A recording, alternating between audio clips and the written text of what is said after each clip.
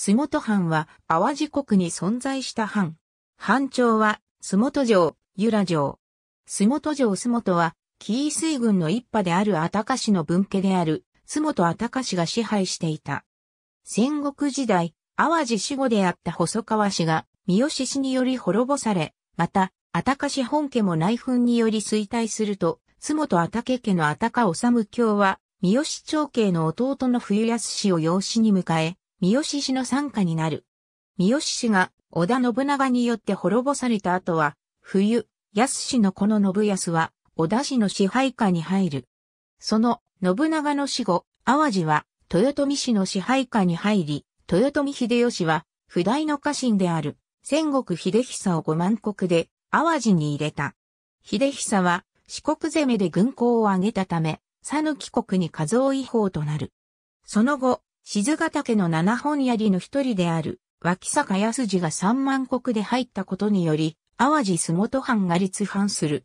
安次は、九州征伐、小田原征伐に従軍し、文読、慶長の役においては、水軍の将として軍港を挙げた。慶長5年の関ヶ原の戦いにおいては、安次は、成行城西軍に組みしたが、東道高虎と内通していたため、小早川秀明が寝返ったのに乗じて東軍に寝返り、西軍の大谷義継隊を壊滅に追い込んだ。戦後、その先行により本領安堵された。慶長14年、安次は、伊予ス藩に移され、代わって淡路は、東道高虎の属領となった。その翌年、播磨姫路藩主である池田照正に淡路一国が加増され、淡路は姫路藩の属領となる。慶長18年1月に、照正が死去すると、淡路は、照正の三男、忠雄に分与され、再び、洲本藩が立藩した。